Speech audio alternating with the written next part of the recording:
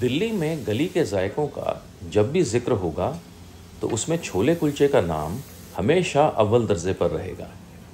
और अगर आपने अभी तक मायापुरी के छोले कुलचे का जायका नहीं चखा तो आपने अभी तक छोले कुलचे खाए ही नहीं।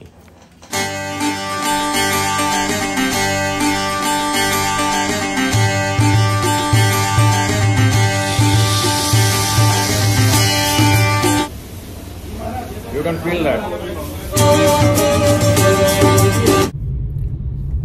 Hello good morning and हम आज जा रहे हैं मायापुरी के special very special chole kulche खाने। व्हाट आई फील इज़ के इतना नाम उसका सिर्फ़ जगह के नाम से है। या तो पूरे मायापुरी में ही is the only person having monopoly about this chole kulcha के उसका इतना नाम है। और इधर यार वाकई uh, जायका ना बहुत ही धुआंधार होना चाहिए। तो आज देख लेते हैं, चल के। मैं आज की कहानी का सूत्रधार संजीव थमन, आज पहली मर्तबा वहाँ जा रहा था जहाँ दुकान का नाम किसी शख्स के नाम पर ना होकर उस जगह के नाम पे था। आप सभी का इस्तकबाल है।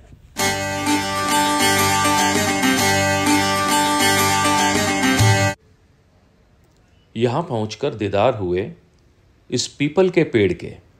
जो कि यहाँ की एक ख़ास पहचान है, ये जगह मायापुरी फ़ेमस कुलचे, बिल्कुल डीडी मोटर्स मायापुरी के पास है। पहली नज़र में तो यकीन करना मुश्किल हो रहा था कि मायापुरी इंडस्ट्रियल एरिया ने एक शदीद जायका अपने में समेट रखा है। इनकी यहाँ दो दुकानें हैं, एक बाईं तरफ़ जहाँ पे सारी चीज़ें तैयार होती हैं और दाईं तरफ़ जहाँ पर आप अपनी प्लेट लेके आराम से खा सकते हैं। I'm standing inside the shop because मुझे देखते ही करण ने मुझे दुकान के अंदर आने की दावत दी जिसे मैंने जल्दी से कबूल कर लिया।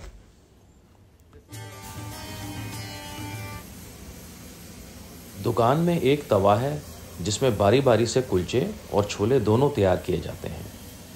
और यह पिघलता हुआ मक्खन बयां कर रहा था कि तवा पूरी तरह से गर्म और तैयार है अपने उस जायकेदार रूहानी सफ़र के लिए, जिसे कुलचे और छोले की शक्ल में परोसा जाता है।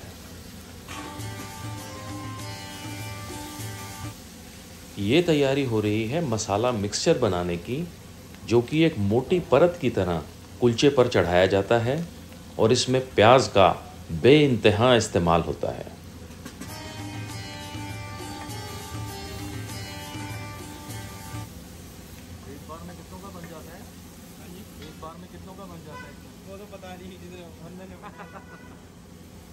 अंग्रेज़ी में एक कहावत है if you can count your money you don't have enough money और करण का इस अंदाजे से बेपरवाह होना कि कितनों का बन जाता है, दिखाता है कि शफा का हुनर और बरकत की रहमत दोनों ही हैं इनके पास।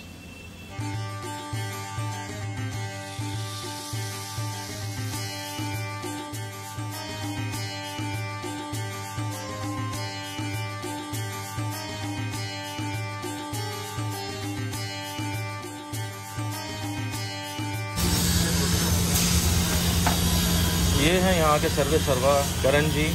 जो इसको देखते हैं। करण मेरे को सिर्फ़ एक सवाल पूछना है। कि लोग अक्सर जो है अपने नाम से दुकान का नाम रखते हैं। आपने जो है मायापुरी के नाम से रखा है कोई खास बात? नहीं कोई मायापुरी के अंदर काम ही कर रहे हैं मायापुरी के नाम से चल रहा है आपने मतलब अपनी कर्म भूमि के नाम से इसको जो किया है। बहुत बढ़िया।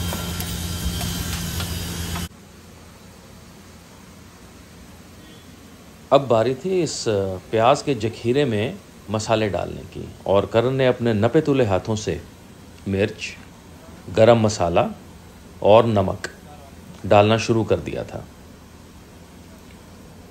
और साथ ही साथ छोलों की पैकिंग भी बदस्तूर जारी रही ताकि जैसे ही कुलचे तैयार हो जाएँ, उनको छोलों के साथ ग्राहकों को परोस दिया जाए।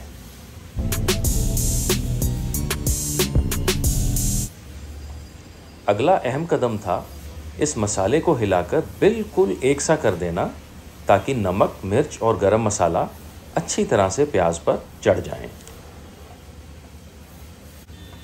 तवे की तपिश ने भुने हुए प्याज और मसालों की खुशबू से माहौल को सराबोर कर दिया था ये जो मसाले की उन्होंने धुनी रमाई है यहाँ पे, ये रियली नेक्स्ट लेवल है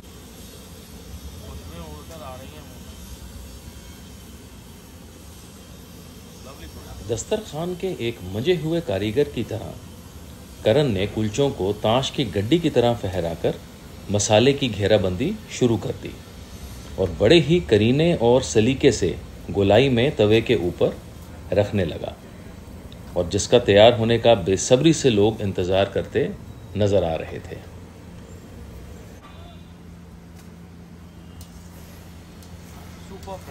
मसाले को एक बार फिर से हिलाकर धनिए से कुलचे और छोलों की सजावट कर दी गई और साथ ही एल्यूमिनियम फॉयल के पहले से कटी हुई परतें निकल आईं पैकिंग के लिए। अब मसाला पूरी तरह से तैयार था और अब बारी थी उस मसाले को कुलचों में लपेट कर रखने की।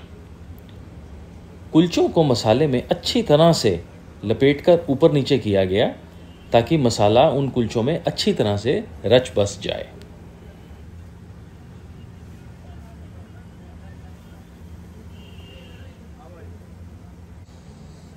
अब सब कुछ तैयार था तो अब पैकिंग की बारी थी।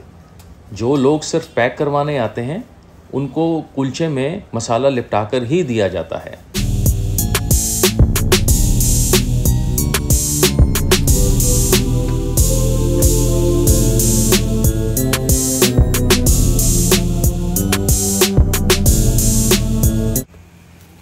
पैकिंग के बाद अब नंबर था वहाँ पर खाने वालों का। जिनकी प्लेट तैयार होनी शुरू हो गई थी।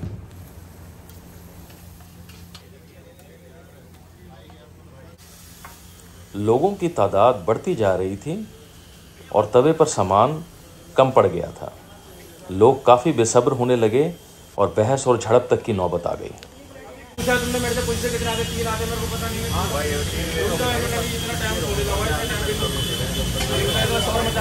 और अगर आप सोच रहे हैं इतना खुशगवार धुआँ जाता कहाँ है तो ये है इनका एग्जॉस्ट फ़ैन कम चिमनी। कुलचों के बाद बारी थी अब छोलों की, जो सिर्फ़ उबले हुए रखे हुए थे नीले ड्रम में से निकाल के, उनको काउंटर पे रख दिया गया।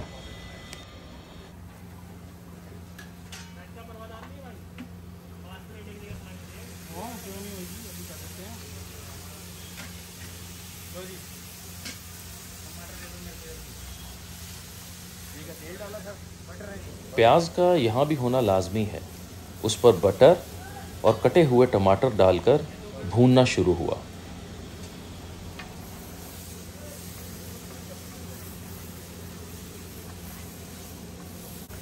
कड़छी बराबर चलती रही, कभी मसाले में और कभी छोलों में। और फिर करण ने थोड़ी दूर पड़े लाल ड्रम में से एक पानी निकाला जिसको पूछने पर बताया गया कि ये अदरक हींग और मसालों का पानी है। ये क्या डाला था बीच में? ये अदरक का और ये सारे मसाले का वो होता है अच्छा मसाले का पानी।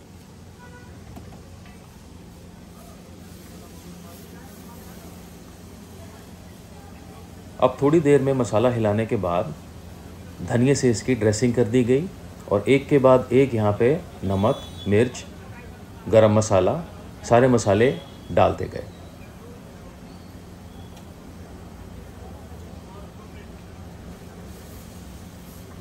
और फिर एक बार हिलाकर इसको रख दिया गया।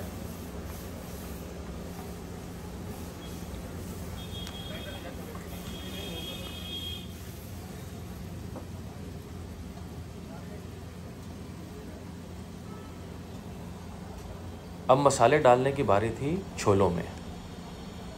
नमक, मिर्च, गरम मसाला, सारे छोलों में डालकर उसको अच्छी तरह से घुमाने की तैयारी शुरू कर दी। और उसको गोल गोल घुमाया गया। एक दाना बाहर नहीं गिरा। ये करण की कारीगरी है देखने वाली।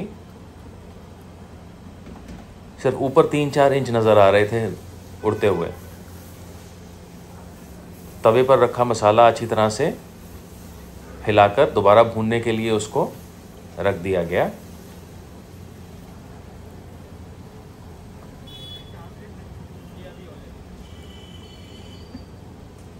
और अब छोले का पतीला उस तवे पर उड़ेल दिया गया।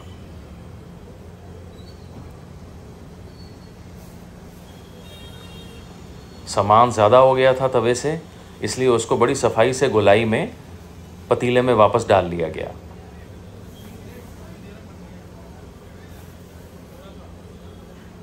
और अब इसको अच्छी तरह से मिक्स किया गया है ताकि छोलों और प्याज का मिक्सचर जो है वो सारा आपस में रच बस जाए।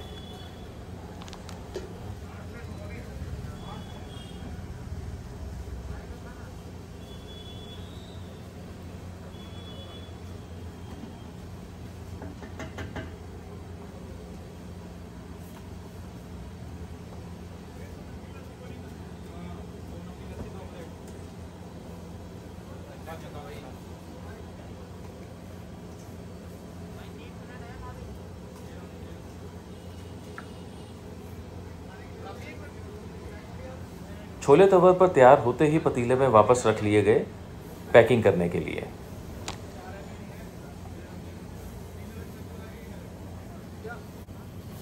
तवे पर मसाले और छोलों की तादाद काफ़ी लग रही थी, लेकिन वो पूरा का पूरा इस पतीले में समा चुका था और दूसरे कड़े शख्स ने बिना वक्त गंवाए पैकिंग शुरू कर दी।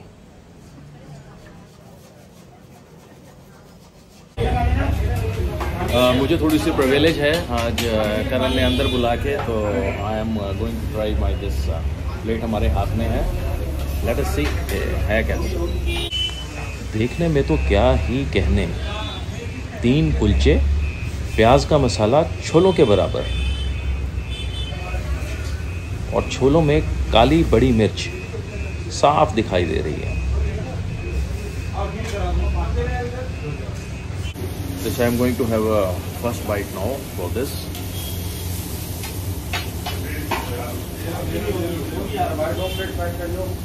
Mm.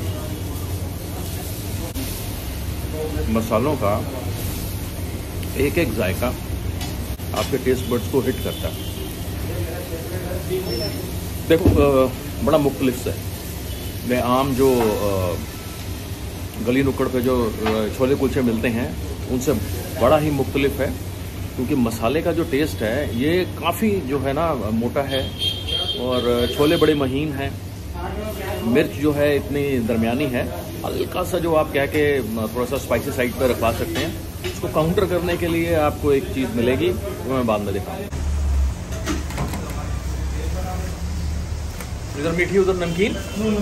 है? ओके ओके ये मीठी रख। और अगर आपको स्पाइस थोड़ा ज़्यादा ही तंग करें तो उसके लिए है ये काउंटर पैक करने के लिए। हम्म, मीठी lassi.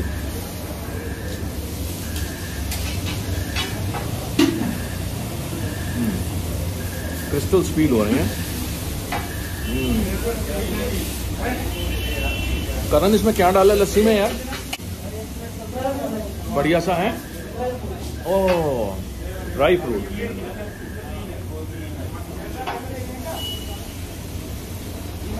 You can feel that. This is fantastic.